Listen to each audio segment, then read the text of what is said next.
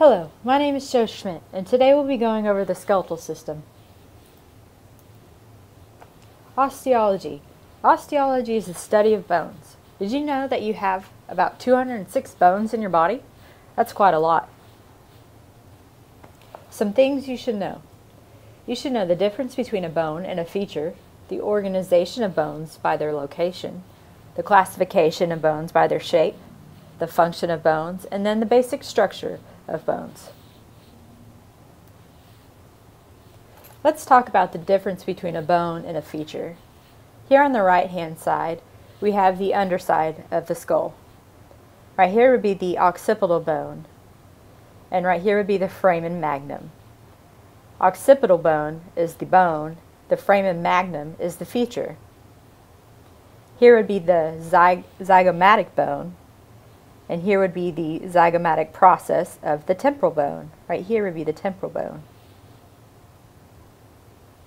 Here on the right hand side, we have a lateral view of the skull. Here again is the temporal bone, and then this would be the zygomatic process of the temporal bone. Also, this is the mastoid process of the temporal bone. Let's look at some more pictures and see if we can clear this up. On the left-hand side, we have a picture of a cervical vertebrae. Number one labeled, labeled number one, is the spinous process. So if you were to be asked on a quiz what bone this is, you would say the cervical vertebrae. If they asked you what feature number one is, you would say the spinous process. On the right hand side, we have a picture of the scapula. So scapula would be the bone. Number 12 would be a feature, and it would be the acromion process. So again, scapula would be the bone. 12 would be the acromion process or feature.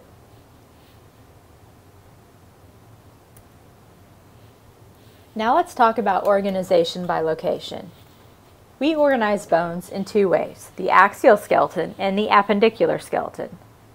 The axial skeleton includes the head and the trunk. The skull bones, which are the cranial bones, facial bones, and the hyoid. The thoracic bones, which are the ribs and the sternum. The sternum is actually broken down into three parts. And then the vertebral column. Seven cervical, 12 thoracic, 5 lumbar, 5 fused sacral, and then 4 fused coccyx. The coccyx actually fuses later in life. The appendicular skeleton includes the appendages or the limbs. The pectoral girdle, which includes the scapula and the clavicle. The upper limbs, which includes the humerus, the radius, the ulna, the carpals, the metacarpals, and the phalanges. The pelvic girdle, which includes the right and left os coxae. And then the lower limbs, which includes the femurs, the patella, the tibia, the fibula, the metatarsals, sorry, the tarsals, the metatarsals, and the phalanges. Now let's talk about classification by shape. The four basic shapes are the short bones, long bones, flat bones, and irregular bones. Here we have a picture of the hand. These bones right here, number five, are the carpal bones.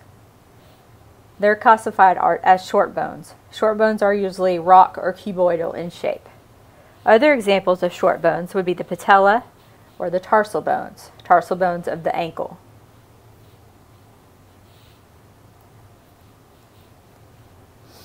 Here we have the flat bones. On the right hand side we have the sternum, the manubrium, the body, and the xiphoid process. And then on the left hand side we have a rib.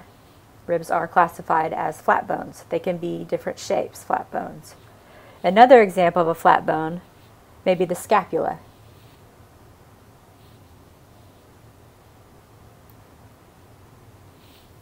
Irregular bones come in all different sh shapes and sizes. Here on the left hand side we have the cervical vertebrae, the atlas. On the right hand side we have the left os coxae. Other examples may be other vertebrae or the sphenoid bone. Sphenoid bone is a skull bone, which is shaped like a bat or a butterfly.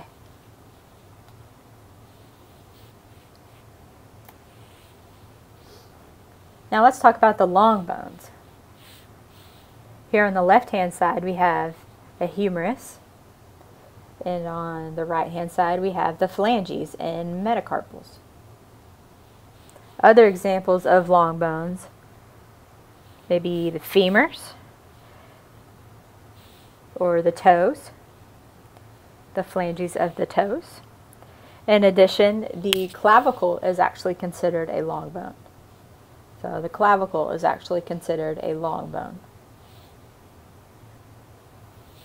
Now let's talk about the functions of bones.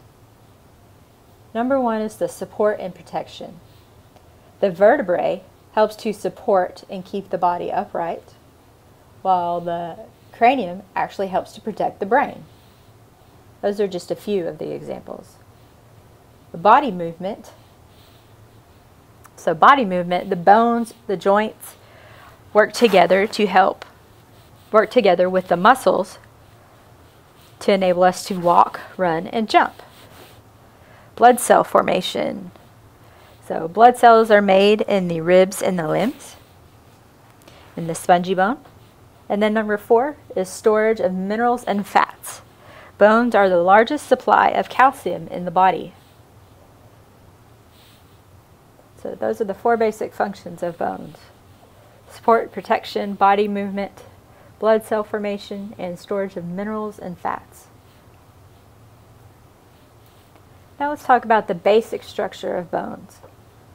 All bones have a similar structure with compact and spongy bone. Spongy bone is located towards the ends of bones and long bones, and the compact bone is located towards the shaft, and this is within long bones. Now, if it was a short bone, the, the spongy bone would be located towards the center. So let me say that again. In long bones, spongy bone is located towards the ends of the bone and compact bone is located on the shaft. Now in short bones, spongy bone is located towards the center of the bone. Red marrow versus yellow marrow. Red marrow makes red blood cells. Kids have more red marrow than adults do. As we age, our red marrow in our long bones turns to yellow marrow. This medullary cavity once held red marrow and actually turns into yellow marrow. The yellow marrow stores energy and fat. So as adults, our red marrow is mainly found in certain areas of the axial skeleton. The axial skeleton. So again, red marrow is made within the spongy bone. Okay, and as, as we age, we lose that red marrow that was located within the medullary cavity and it turns to yellow marrow and stores energy and fat. Now let's talk about the osteon, the basic structural unit of bones. The osteon sort of gives the bone a reinforced structure, like the rings of a tree. They're tubes within tubes within tubes. So this is the osteon, this is an osteon, and then this is an osteon. So here's a tube, and here's a tube. And then within it is another tube, which is the lamella. And then going the other way, we have the canaliculi. And then the other structures are the central canal, the lacunae, which are the cavities that hold the osteocytes. The osteocytes are the actual bone cells. So this overall structure makes bone tissue quite strong. Another interesting fact is that in the embryonic phase, bone tissue actually starts off as hyaline cartilage.